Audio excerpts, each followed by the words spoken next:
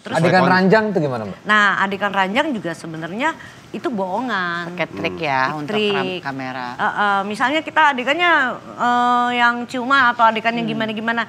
Ya udah, ini kita begini-gini sendiri di kamera gitu-gitu. Padahal orang yang pasangannya di mana depannya kamera. Gitu. Gini-gini di kamera. Mm-mm. Kayak Ya, gimana? ya. Kayak gini ya? Ya nggak gitu juga. का प्रो. 네, 우리는 잘하네, 우리.